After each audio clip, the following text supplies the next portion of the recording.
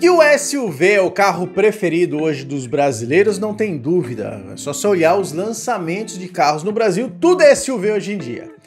E eu vou trazer para você nesse vídeo aqui quais são os três SUVs mais vendidos no Brasil nos últimos meses, tanto para pessoa jurídica, pessoa física e para PCD. Vou fazer um comparativo entre esses três modelos com características e preço para você, se quiser escolher um SUV, saber qual é o melhor. Eu já tenho o meu preferido, vou revelar no final para você qual seria a minha escolha dessa lista, mas acompanha tudo depois da vinheta. Fala pessoal, beleza? Eu sou o Jean Marcel da Jeep Daruge e agora, ó, reta final do mês, pessoal. Só vale até o último dia de agosto essas condições aqui. Não perca tempo, garanta o seu carro com isenção aqui em parceria com o canal do Nelson. Olha aqui, ó, Renegade 1.3 Turbo, esse carro com isenção do IPI 109,900 e você pode andar de Compass, pode sim. Aqui na Daruge, com a parceria aí do Nelson, chegamos num preço incrível no Compass Sport. Isenção de IPI vai sair por 146,890. Só vale até o dia 31. Então, corre pessoal, garante essa condição e toda linha tem um descontinho. Então, ó, pede aí a tabela completa do canal do Nelson. Aonde? Na Jeep Daruge. Vem pra cá. E para você que já tem o seu carro PCD ou quer adquirir, C Geral Seguros é empresa de seguro que atende o Brasil inteiro e especialista em seguro para pessoa com deficiência e seguro de toda a natureza, além de consórcio Porto Seguro. Manda uma mensagem para eles que eu tenho certeza que vai ser um prazer te atender e ajudar você a proteger o seu carro. Primeiramente, antes de mais nada, espero que você esteja muito bem, que Deus abençoe sua vida, seus planos e todos os seus sonhos. Vamos falar sobre os três SUVs mais vendidos do Brasil? Até agora, o mês de julho, agosto, né? Agosto está terminando. Os três mais vendidos do Brasil, com característica e preço para você que é PCD, tá nessa lista, né? Vocês compram os carros, saber qual que vale mais a pena. Pelo mesmo desconto, pela mesma configuração, qual que tem mais coisa para oferecer, qual tem mais desconto para oferecer. É, será que aquele que mais vende é o melhor? Brasileiro é conhecido por tomar as melhores decisões? É a nação mais racional ou é muito emocional? É, vai mais por propaganda? Vai mais por matéria comprada de revista? Pois é. Então, para desmistificar isso daí e ajudar você na sua escolha, fiz essa seleção. Peguei os três mais vendidos e vamos estudar os três para ver qual é o que mais oferece custo-benefício. Para a tela do computador, você já encontra aqui o primeiro, né? O mais vendido do Brasil até então é o T-Cross. E eu peguei o T-Cross na versão mais acessível para quem é PCD, tá bom? Todos eu peguei a versão, uma versão compara paralela, né?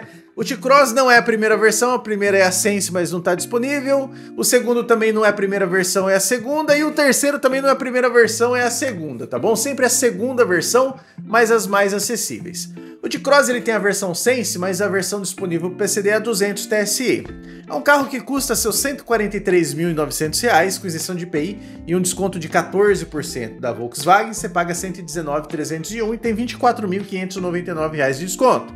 Mas o que esse carro oferece? Um motor 1.0 turbo 3 cilindros, de 128 cavalos e 20 kg de torque, um câmbio automático de 6 velocidades. O carro já vem com ar-condicionado e piloto automático, mas não é o adaptativo. Ele tem um painel digital de 8 polegadas, que curiosamente é maior do que a multimídia, que é de 6.5 polegadas. 373 litros de porta-mala, roda de liga leve 17 polegadas e 6 airbags. Esse é o carro mais vendido, mais comprado né, pelas pessoas do Brasil até então. Agora na segunda posição, concorrendo com ele, nós temos o René, o Renegade, né, o segundo SUV mais vendido do Brasil até então e eu peguei a versão, a segunda versão, a versão primeira é a T270, eu peguei a Sport, para ficar parecido com a 200 TSI, né? Essa versão aqui, ela custa 138.390 e você compra por 115.063, com isenção de IPI e bônus de montador. Então, ele é mais barato do que o T-Cross, mas também é mais equipado. Dá uma olhada só. O motor espanca, né? São, é um motor turbo também, só que agora 4 cilindros e 185 cavalos de potência e 27,5 kg de torque, aliado ao câmbio japonês de 6 velocidades automático. Para você ter ideia, esse Renegade é mais potente que a versão mais completa do T-Cross, a Highline, que tem o um motor 1.4 turbo, que tem 150 cavalos e que tem 185. Direção e ar-condicionado esse carro também tem. Esse outro ponto que é diferencial. Nesses concorrentes, dos outros concorrentes, né?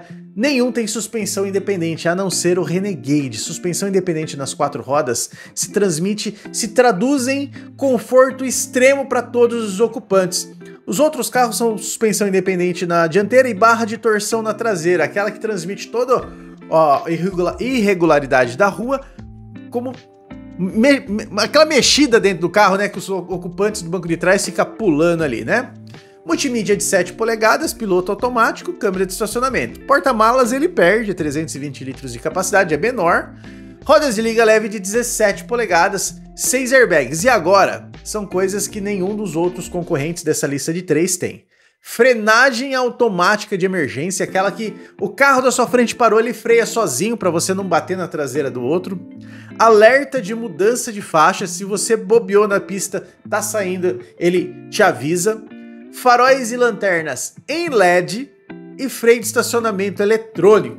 Pois é, é uma versão bem completa de entrada, né? Fora o acabamento, né? Que concorrendo com o T-Cross, o acabamento do Renegade, todo soft touch, todo é, é, é, melhor. E o terceiro carro mais vendido é o Tracker LT 1.0 Turbo. Também a segunda versão, a gente tem o Tracker Lite, né?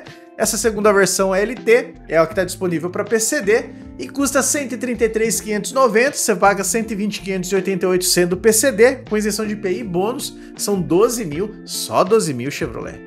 12.962 reais de desconto. Tem um motor mais fraco, 1.0 turbo 3 cilindros de 116 cavalos e 16.8 kg de torque, aliado ao câmbio automático de 6 velocidades. Direção e ar-condicionado tem, tem a maior multimídia dos três, de 8 polegadas, e é uma multimídia legal que ela tem espelhamento sem fio e Wi-Fi. Porém, Wi-Fi se só tem se você pagar, tá? Você tem que pagar como se fosse um plano de celular extra. Então, tem Wi-Fi, mas tem que ser pago. Tem chave presencial, também a única desses três que tem, e também tem o maior porta-malas, 393 litros. A roda é a menor, né, 16 polegadas, do Renegade é maior, 6 airbags e controle de tração e estabilidade.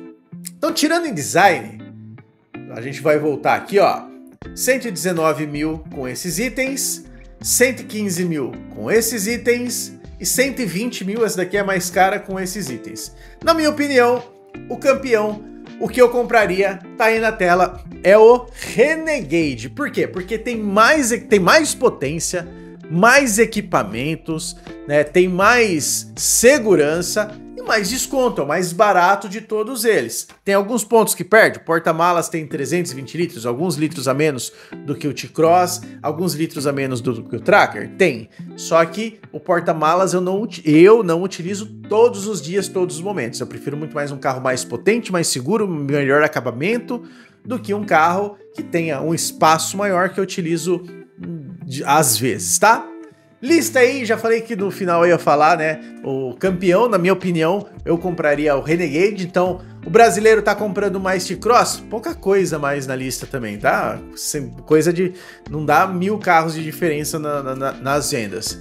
Mas tá comprando mais, mais T-Cross, né?